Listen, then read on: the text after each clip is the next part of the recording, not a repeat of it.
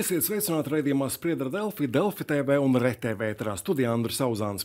Šomēnes aktualizējušies jautājumi par enerģētisko drošību, ņemot vērā Somijas un Igaunijas gāzes vada Baltika konektoru bojājumu, kā arī jautājumi par Latvijas enerģētikas stratēģiju. Kā labāk varam aizsargāt savu kritisko infrastruktūru, kādai jābūt Latvijas stratēģijai enerģētikā, kā globālās norises ietekmē mūsu klimata mērķus un kā enerģijas cenu eh, dažādos satricinājumu laikos eh, labāk pasargāt lietotājus. Par to visu runāsim šajā raidījumā.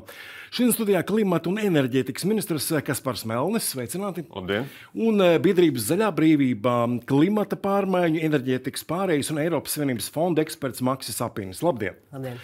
Uh, amatā esat nepilnu pusotru mēnesi. Kādi bija jūsu īpašie nolūki, apņemšanās vai ieceres stājoties ministra amatā?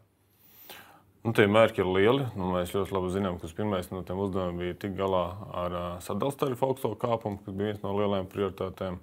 Nu, teiksim, tā īstermiņa risinājumu mēs izstrādājām. Jāsaka, paldies ministrijas ātrai darbībai. Tiešām ieguldītiem laikam mēs to spējām, bet tas ir īstermiņa risinājums. Uh, pašreiz jau iet uh, saimā uz otro lasījumu tāds vidējā termiņa, ilgtermiņa risinājums, nu, kas ir tāds prioritāte, bija pirmais jautājums, kas bija jāsakārto mums.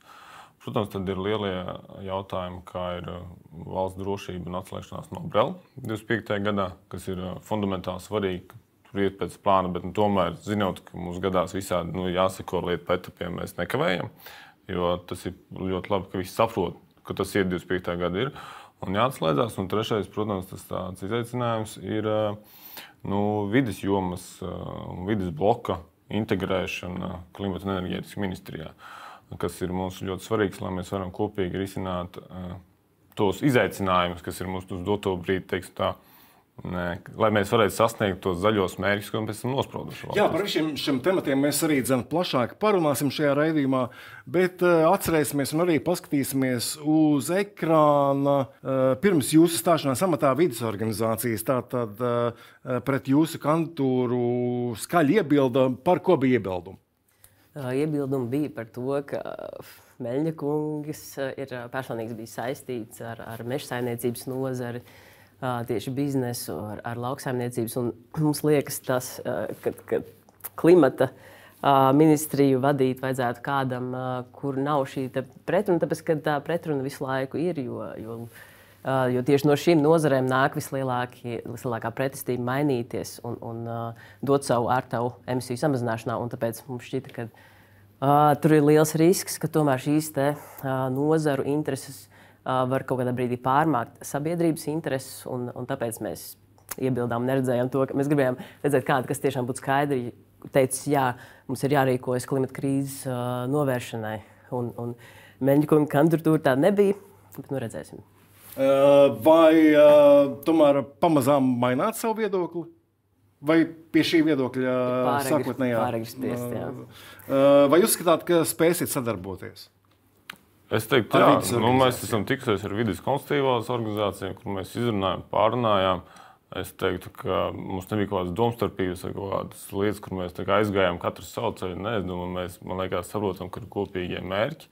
Un tagad mums vajadzētu kopīgi strādāt pie plāniem, kā mēs viņus īstenojam. Jo, nu, tas ir tas fundamentāli svarīgākais. Uh, Un tā ir arī, gribētu teikt, ka man liekas, ka tas ir plus, ka es nāku no, teiksim, no citām organizācijām, jo kas ir svarīgi, jo tie mērķi jau jāsasniedz mums visiem kopīgi. Caur dialogu vienojoties, jo mēs nevaram nosprost mērķi un teikt, nu, jūs tur ejiet un viņi īstenojiet. Jo tad, parasti, tad, tad ir iegūst to lielo pretestību no tām nozarēm. Viņi saka, tie nav mūsu mērķi, mēs viņus negribam. Nu, kā tās problēmas ir? Un te ir ļoti svarīgi arī tiešām sēdēt pie galda visiem runāt un atrast tos mērķus, kas ir, bet tieši plānu, kas ir saprotams visiem iesaistītajiem, jo tad mēs viņu spējam tieši veiksmīgāk sasniegt. Un tas ir ļoti svarīgi. Vai nu, tā tad izskatās, ka turpmāk spēsit sēdēt pie viena galda sadarboties?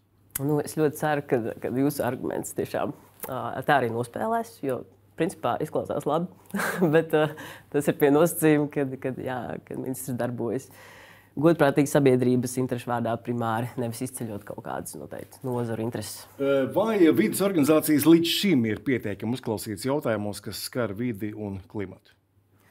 Uh, nu, droši vien, ka jāsaka nē, bet uh, Jo Latvija tomēr visu laiku ir tā, tā politiskā nostāja ir bijusi tāda, ka mēs darām minimumu, ko mums prasa Eiropas Savienība, pašu minimumu.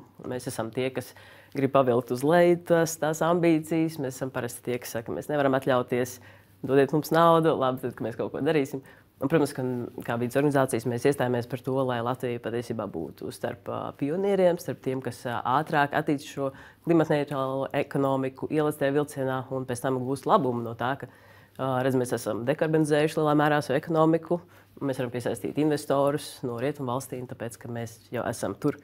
Un, un tas ir tas, par ko mēs runājam, uzstājam, bet nu, tas vēl nerealizējas. Vai tiešām izskatās, ka darām tikai minimumu? Nu, tad jāsaprot arī otra puse. Es gribētu teikt, ka mums jau kā ministrs tas galvenais ir atrast to līdzsvaru un to loģiskumu pamatotu. Jo no otras puses viņi ļoti labi saprot arī dzird argumentus no uzņēmēja puses un arī no pašiem lauksaimniekiem, kuriem saka, pilnībā pretējo, ka viss ir slikti un viss tā viņu tas virziens nav. Un es teiktu, nu, ka tas ir tas kompromiss, nu, sabalansēt tie mērķi. Es, protams, mēs runājam par mērķiem uzstādītiem. Nu, es arī runājām, kāda viņi ir pārāk ambiciozi, kādi atkal viņiem ir pārāk neambiciozi. Un tad man liekas, mums ir viensprāts, ka mūsu tie nosprostie mērķi galvenais fundamentāli ir sasniegt. Nu, uz doto brīdi nosprostos sasniegt, un pie tā arī mēs visi strādājam, kas ir pats svarīgākais. Runāt par to minimumu, maksimumu, nu, tā ir diskusija. Nu, mēs varam runāt, bet es varu gribēt teikt, ka mums tie mērķi ir nosprausti, un mums viņus ir jāsasniedz. Ja runāsim par nākotnes mērķiem, jā, mēs varam runāt nu, uz argumentiem un uz pamatojumu, kāpēc tieši tāds mērķis, kāpēc nav lielāks, ne mazāks. Nu, tas ir jāsaprot. Bet pašai es gribētu vairāk koncentrēties uz nosprostajiem mērķiem un kā mēs viņus varam sasniegt. Jā, bet es piebilst, ka tā, tas neatiecas uz tā iepriekšējā politika. Bet, piemēram, ja mums būtu bijusi ambīcija vēja enerģijā, tad nebūtu bijusi situācija, kur mums 15 gadus neviens jauns vēja parks. Un tad, bet, nu, tur mēs bijām kā, slinki, un tāpēc mēs nonākam situācijā, kur mums nav laba situācija. Atcerēsimies arī šo jūsu ierakstu Facebook. Varam paskatīties uz ekrāna, ka klimata un enerģētikas ministrija ir naudas izšķērdēšana. Tad tagad naudu nešķērdējat. Nē, nu, tas bija pamats, kāpēc arī tagad, ja, protams, uzskatu, nu, ka klimats un enerģētika bez vides ir nu, nesaprotams veidojums. Nu, tu, nu, kā var no vidas izņemt ārā, vai nu, no klimata izņemt vidi? Nu, tas ir tik sasaistīts kopā līdz ar to vienkārši, ka klimats un enerģētika bez vides tas ir, nu, nav pilnvērtīgs, teiksim tā, struktūrēts veidojums, kas var tiešām veikt izmaiņas un sasniegt mērķus. tas ir tas, kas arī man pašreiz, kāpēc es ļoti uzstāju, un viens no iemesliem, kāpēc es piekrītu vispār vadīt šo ministru tādu domu. Tā kā mums ir ierunā, norunāts arī deklarācija, ka pie mums pienāk vidas bloks, kas ir ļoti svarīgi. Un savādāk mēs ļoti negribam nonākt pie tās situācijas, jo mērķi ir atrunāti, ka par mērķiem atbild klimata enerģētikas ministrija. Bet būsim atklāti, lai viņus sasniegtu. Nu, beigās man būs, lai nesanāk tā, ka man jārāda uz citām ministrijām, nu, ka es jau varu pašai tikai ieteikt nu, kas redz, kur ir problēmas un kas ir jābūt. Nu, tiešām tas vidas bloks ir tur, kur ir. Nu, es teiktu, viņš iet visi kopā, es vairāk sazobēju. Gan runājot par vēja parkiem, sauli, kas ir atjaunojama enerģija. Pat eh, tāds liekas, varbūt sveša lieta kā atkritumi, kas sākumā liekas, nu, tas ir tīri vidas jautājums. Nu, nē, nu, jo tos atkritumus ir jāpārveido enerģētika, un tad, parādās jau enerģētika. Un tie mērķi jau arī ir par segu emisiju samazinājumu, jau arī atkal ir pie klimata un enerģētikas. Un, eh, tāpēc ir tā sazobe, ka vide ir ļoti nepieciešama. Un pie tādas uh, vienošanās, tad jā, tā ir pilnvērtīga misija. Jā, šo arī varam paskatīties uz ekrāna, ka valdības deklarācijā ir minēta nevis klimata un enerģētikas ministrija, bet klimata, enerģētikas un vidas aizsardzības ministrija. Tātad šī vidas joma tiek pievienota. Kad un kā tas notiks? No savas puses mēs esam izstrādājuši jau detalizētu ceļkarti, kā mēs varam integrēt vidi tieši klimata enerģētikas ministrijā. Mums pašreiz notiek ar sadarbības partneriem diskusija tīri nu, par tādām detaļām, detaļām, kad un kā labāk. Nu, es neslēpšu, mums varbūt ir domstarpības par termiņiem. Nu, es no savas puses to gribu izdarīt maksimāli ātri, lai mēs varam maksimāli ātri iet uz priekšu un, un sākt pildīt tās lietas, kur mēs esam redzējuši, kā par tiem vēja parkiem, kur mēs esam, nu, esam kur esam un lēni ir attīstījies. Uh, Nu, ar, varam teikt, tā pie pamata tādas beigu vienošanās mēs vēl neesam nonākuši. Bet mums ir diskusijas, un es ļoti ceru, tuvākajā laikā nonākt, jo mums ir jāsaprot arī, kā tos darbus tālāk strukturēt. Uh, bet termiņi? Nu, par termiņiem mēs pašreiz runājam. Nu, tur arī lielākā aizķeršanās ir tieši termiņi pašreiz. Kāpēc tad ir šī aizķeršanās? Ļoti vienkārši. Es vēlos ātrāk. Es redzu, ka mēs to varam ātrāk. Es saprotu, no varam ministrijas ir tāda piesardzība. Viņi tā kā grib redzēt, varbūt dettālāk un nu, to uh, pakāpeniskāk un lēnāk to varbūt pārēju. Nu, Tur arī ir tā visi izaicinājums pašreiz. Vai jūs prāt, ir loģiski, ka viena un tā pati ministrija atbild gan par klimatu, kuru zināmā mērā sabojā arī enerģētika, gan par enerģētiku, kas to klimatu bojā? Jā, jā. Mums, mums arī tieši tāpat tajā brīdī, kad radīja klimata un enerģētikas ministrija, vidas organizācijām šķita, ka uh, tas nav loģiski nodalīt klimatu un vidi, jo gal galā lielākoties uh, klimata pārmaiņas. Bet uh, klimats kopā problēma. ar enerģētiku. Jā. Tur nav pretrunu? Nē, tāpēc, kad uh, enerģētika ir milzīga nozara, kas. Uh, kas tieši ietekmē mūsu klimata mērķus. Un, un, uh, tas būtu problemātiski, ja tas ir divās dažādās uh, ministrijās un būtu tikai klimata, kas centīsies eh, citas ministrijas kaut kā ietekmēt. Eh, es, piemēram, uzskatu arī, ka teicam, ēku renovācija, ēku nosiltināšana arī būtu jābūt klimata ministrijā, nevis pie ekonomikas ministrijas. Jo šobrīd liekas, ka šis milzīgā problēma, uh, kur īstenībā ir tikpat daudz jārisina kā ražošanas, atjaunīgās enerģijas ražošanas puse, vienkārši tiek aizmirsta. Un, un liekas, daudz efektīvāk būtu, ja tas būtu arī tur kopā. Pie viena gribēju arī pajautāt, kas tad īsti paliks pāri no līdzinājās um, vidas un reģionālās attīstības ministrijas atbildības loka. Nu, tur nebūs par šauru, ja vide aiziet projām, vidas jautājumu. Nu, tas laikam nebūs jautājums man. Es vairāk par savām, man pietiek savu problēmu un izaicinājumu, par, par, par ko tagad lauzīt galvu. Uh, šobrīd uz ekrāna varam paskatīties infografiku par plānoto nākamā gada budžetu, ko varēs paveikt ministrija. Nu, protams, tas budžets nav tik vērienīgs kā uh, aizsardzības budžets, protams, bet uh, tomēr. Nē, nu, tas ir lielais ieplānots. Protams, mums ir 50 miljoni rezervēti cenu stabilizācija tarifu, kas ir lielais plāns, pie kā mēs esam izstrādājuši, lai būtu tas lēzins kāpums. Un 25 miljoni ir paredzēti aizsargātajiem lietotājiem, kas ir arī programma, kas ir paredzēta arī tuvākajiem gadiem, katru gadu 25 miljoni.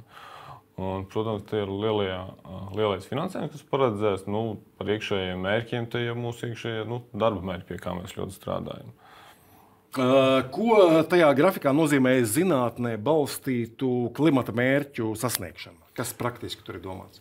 Tur ir vairāk pētījumu. Domāt, mums ir saskarāmies ar tādu lielu izaicinājumu, ka mums liela izaicinājums ir tieši dati, datu apkopošana un esošās situācijas, kur mēs esam.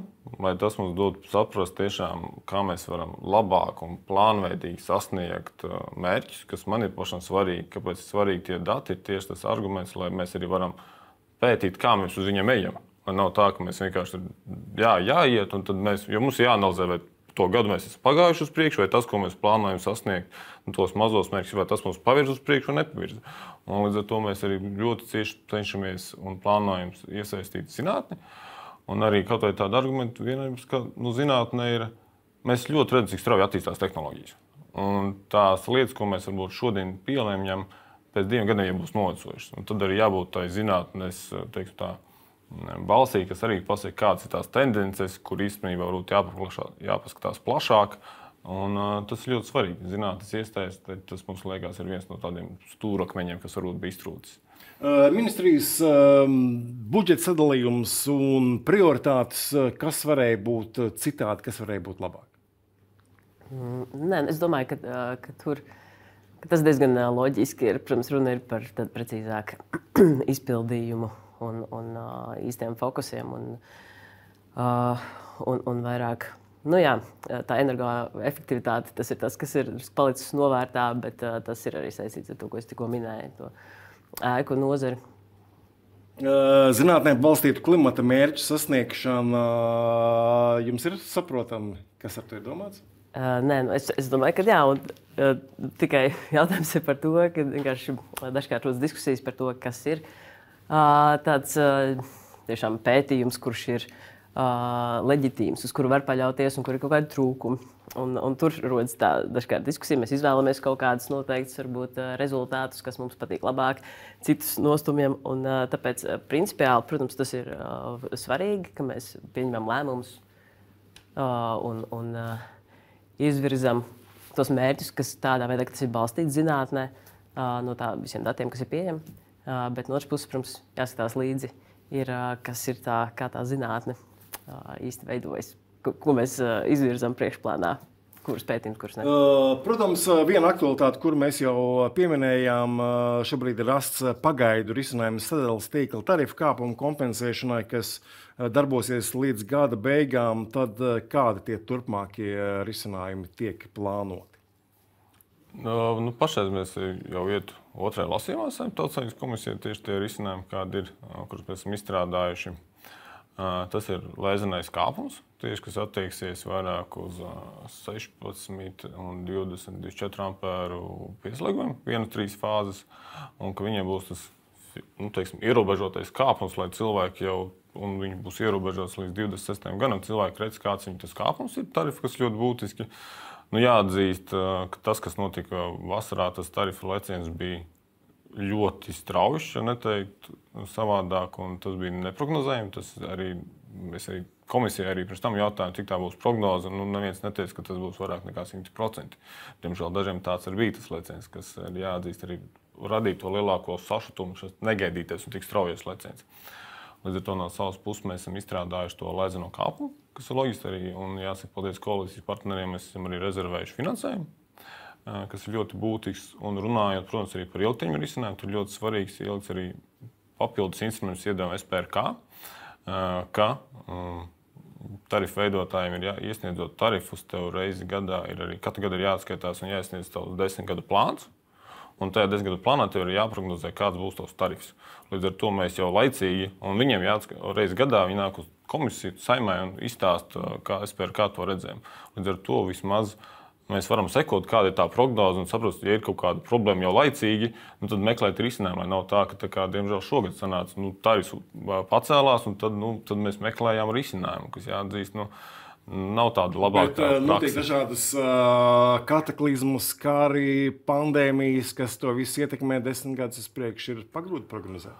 Protams, nav jau teikts, ka, tev, ka tā prognoze katru gadu nevar mainīties. Un tas arī jāsaprot. Jūs pirms sakat, daudz dažādu aspektu, ko mēs nevaram ietekmēt, bet nu, vismaz prognozēt, nu, jebkurš uzņēmums un plāno savu nākotni. Protams, ir daļai ārējie faktori, kas to var ietekmēt, bet tev ir kaut kāds plāns. Ir. Un, protams, ja būs kaut kādas izmaiņas, nu, mēs jau esam saprotoši un saprotam. Ja tam izmaiņām ir, protams, pamatojums ar datiem, kāpēc tas tā izmainās. Uh, augsti sadalījuma tarifi, dārga elektrība. Tas uh, no vidas aktīvistu viedokļa varbūt pat ir labi, jo elektrību mēs taupām un tērējam mazāk. Negluži tāpēc, ka uh, mūsu Mūsu interesēs ir samazināt fosilā kurināmā izmantošanu, kas nozīmē, ka mums ir jāiet prom no gāzes katliem individuālajā apkurē. Un, uh, šis tarifu lēciens bija tāds. Uh, nu, nevēlama lieta, tāpēc, ka varbūt kāds cilvēks plānoja uzstādīt siltumsūkni, bet viņam liekas, ka man būtu jāpāriet uz trīs fāzēm, man uh, pieslēguma jauda palielināsies, nebūs izdevīgi. Tas var atturēt no šīs ilgtermiņā vispār labās lietas, gan valstiski svarīgās, gan arī individuāli. Uh, un, uh, Un tāpēc tas nebija labi. Ir, šis ir brīdis, kad, lai gan jā, no sadalījuma puses un no SPRK puses izskatās viss korekti, un tiešām bija, nebija īsti nekas nepareizs darīts. Vienkārši, bet tad ir valstiski jājaucās, kur mēs gribam, lai mēs ejam. Mēs gribam veicināt, lai cilvēki izvēlas siltumsūkņus, lai viņi izvēlas likt saules paneļus. Un tad mums ir jāiejaucas, jākoriģē šādā veidā. Un es, es domāju, ka, uh, ka mēs, tas ir pareizs virziens noteikti. Vai tiešām ir jāiejaucas, jākoriģē un jāpalīdz varbūt, cilvēkiem ar padomu? Nu, piemēram, ja cilvēks būvē māju un tiek apsvērti dažādi apkurss veidi, nu, vai ministrijai būtu jāpasaka, nu, tagad izvēlamies siltumsūkņus vai ko citu? Nu, mēs no savas puses varam tikai atbalstīt un veicināt vienu vai otru izvēli cilvēku. Doto brīdi tas tiek darīts ar saules paneļiem. Ir valsts atbalsts un programma, kas veicina maisaimniecību viņus uzstādīt. Tāpat tajā programmā tiek arī veicināts ja veco katlu nomaiņu uz siltumsūkni. Un no savas puses mēs varam tikai veicināt, to mēs arī darām. Protams, izvēle jāizdara katram pašam. Protams, mūsu interesēs arī protams, to mērķu sasniegšana. Kas ir arī tas svarīgākais? Jo tos mērķus, lai sasniegtu, mums visiem ir nedaudz jāmaina savu domāšanu un savu ikdienas dzīvi. Un tas pats ir attiecās uz maisaimniecībām. Protams, saules paneļi viens veids, un te ir ļoti pareizi izteikts. Jau svarīgāks elektrības augstie tarifi nepalīdz sasniegt mērķus, jo mums ir fundamentāli jādomā par to, lai elektroenerģija būtu lēta, ja mēs gribam, lai cilvēki no fosilā pāriet uz elektro. Un tas ir ļoti svarīgi. Un tā arī no savas puses, ja mēs runājam mēs par saules parkiem vai vēja parkiem, nu, tur ir jāskatās, protams, ekonomiskais pamatojums. Jo, ja mēs uzstādīsim zaļo enerģiju, kas ir 3-4 reizes dārgāk nekā fosilā, nu, mēs tad, kad ejam otrā grāvī, mēs neesam konkurētspējīgi. Un tad arī jāsaprot, ka tas neko neveicina. Tas tieši otrādi kavē to visu procesu. Runājot par saules paneļiem, tad kāda būs turpmākā politika saules paneļu tiksim, atbalstā, vai, vai saules paneļu uzstādīšana tiks atbalstīta, vai tomēr nu, šobrīd tas, tas, tas, tas bums ir pārgājis un, un, un ministrija vairs nav ieinteresēta to darīt? Nē, nebūtu. Nē. Nu priekš, lai būtu skaidrības, es, tie, kas ir uzstādījuši esošos saules paneļus, viņi turpina strādāt esošajā sistēmā līdz 2009. gadam. Viss tā arī paliek tā, kā ir. Nu, lai nav nekāda satraukuma, tur sākumā bija par jauno sistēmu, mēs runājam.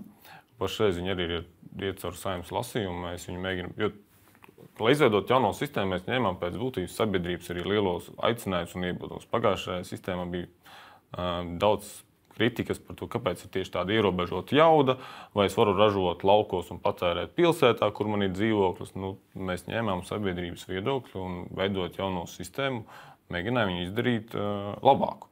Uh, protams, vienmēr ir kaut kāda kritika zināmā mērā. Nu, visiem nevar pal palīdzēt, kādam ir varbūt sliktāka ideja, labāka.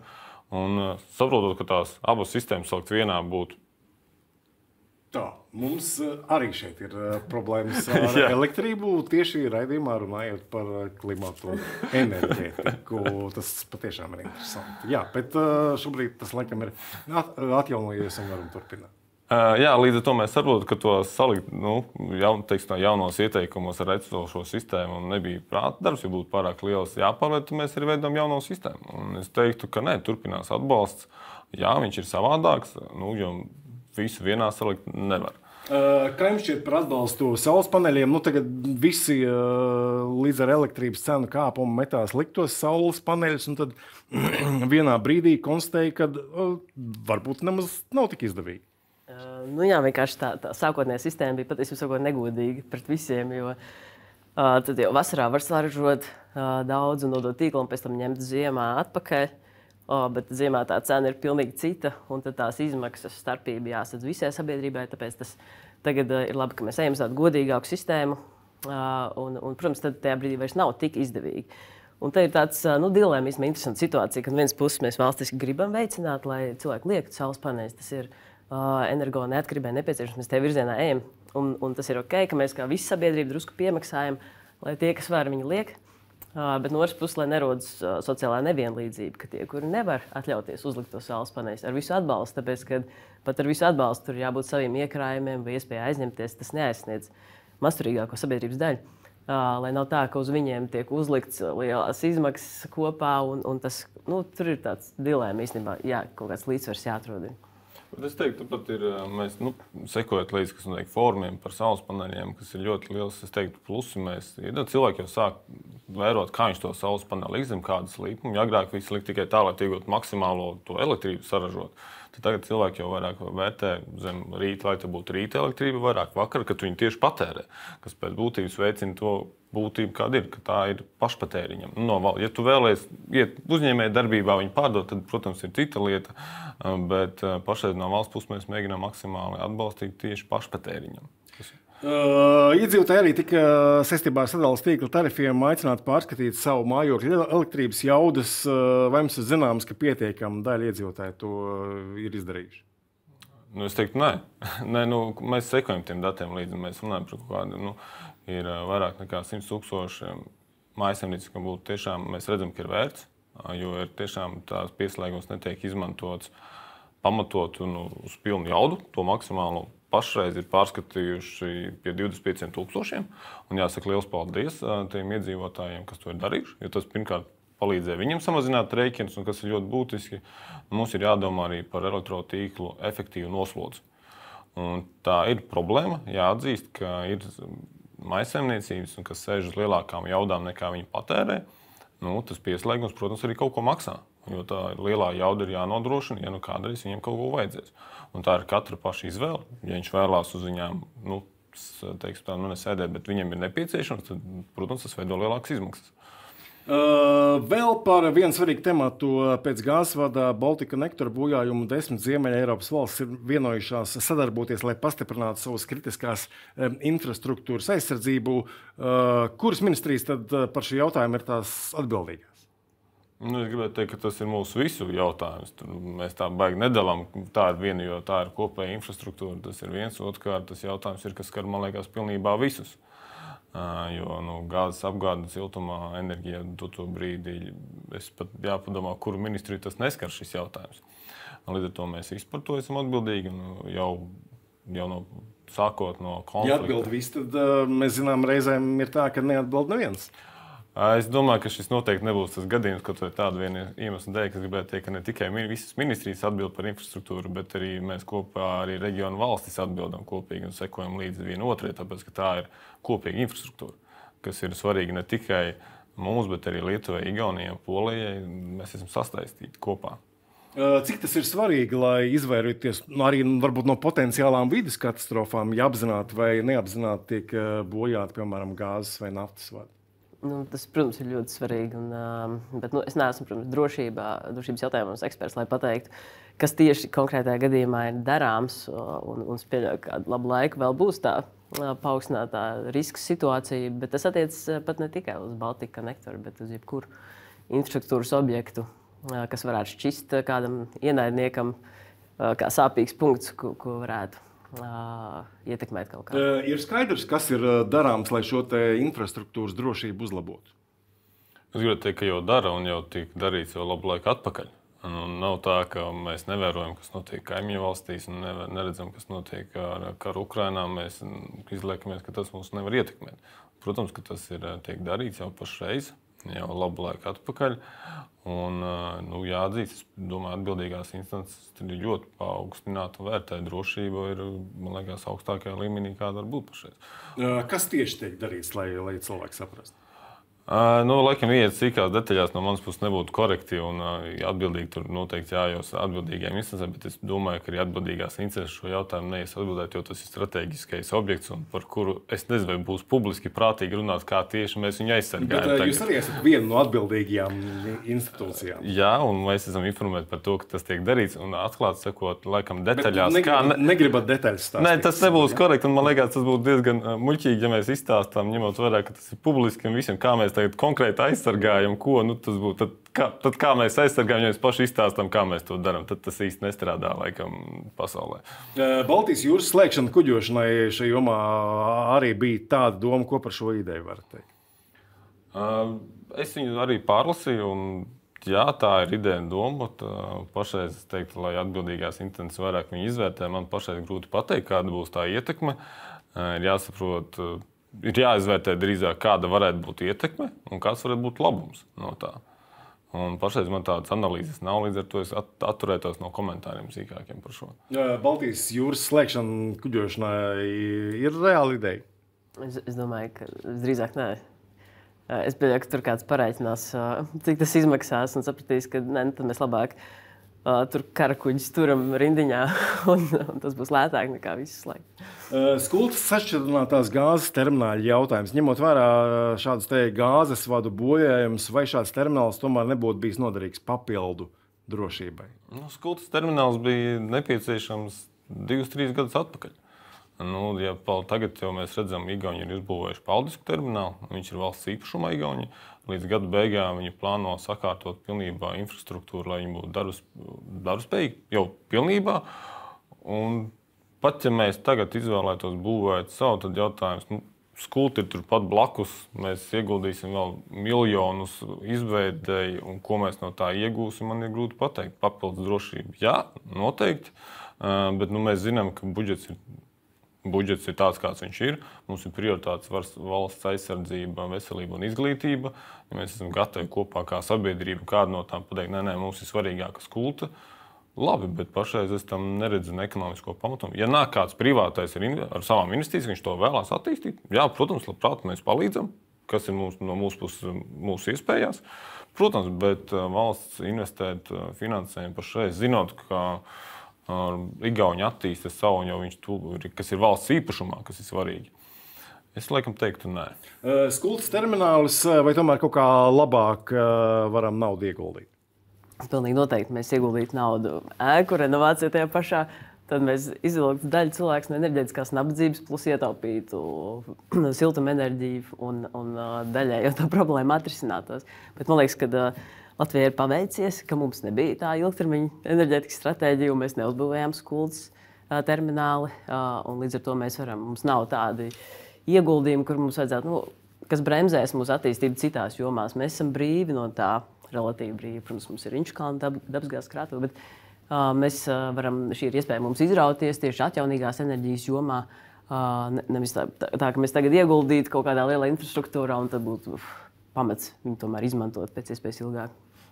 Bijām atkarīgi no Krievijas gāzes. Līdz ar Krievijas iebrukumu Ukrajinā strauji bija jāmeklē tās alternatīvas, vai, vai to brīdi tiešām pietiekami izmantojām, lai mazinātu fosilā kurināmā izmantošanu.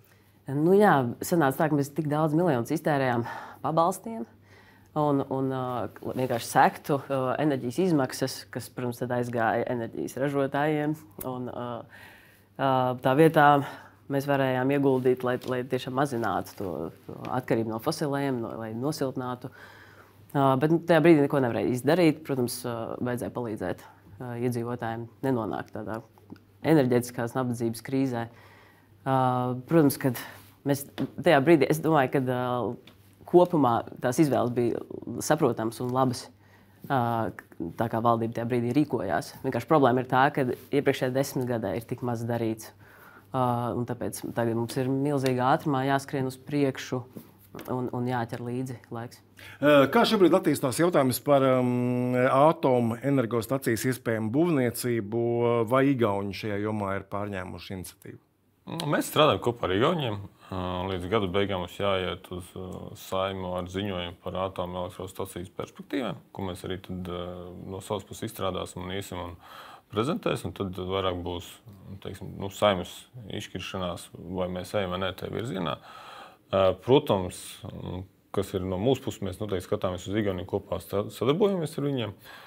Jo tur ir nu, ir vairāk jautājumu, kas varbūt sākotnēji liekas, nu, viena lieta ir uzbūvēt stāciju, atomelektrostaciju, jā, bet ļoti daudz ir tādas nianses, kas pēc tam sanāk, iedziļinoties detaļās. Tāpat kā mums vajag uh, augstlīnijas profesionāļus, kas tur strādās, to visu apkalpos, kas ir vienai valstī, tas ir liels sloks. Nu, jebkurā gadījumā jābūt sinerģijai gan ar kaimiņu valstīm, jo tas būs atsloks mums visiem. Un pašais Igauni ir mums soli priekšā, Un līdz ar to mēs viņiem sadarbojamies gan par pētījumiem, gan arī iespējamiem risinājumiem. Par atomenerģijas iespējām. Darām visu iespējamo, vai ne? Nē, pilnīgi noteikti nē. Tāpēc, kad uh, tas ir. Uh, Ir daudz pētījumu, kas tagad uh, saka, ka tas nerisinās klimata krīzi, tāpēc, ka viens projekts attīstība var aizņemt pat 15 gadus. No sākuma, protams, termiņš ir pozitīvāks, optimistiskāks, bet tad kaut kas vienmēr notiek, kā zinām, Latvijā tā vienmēr notiek. Pagarinās, un tad uh, pēc 15 gadiem mums jau sen visi mērķi ir jau uh, nokavēti.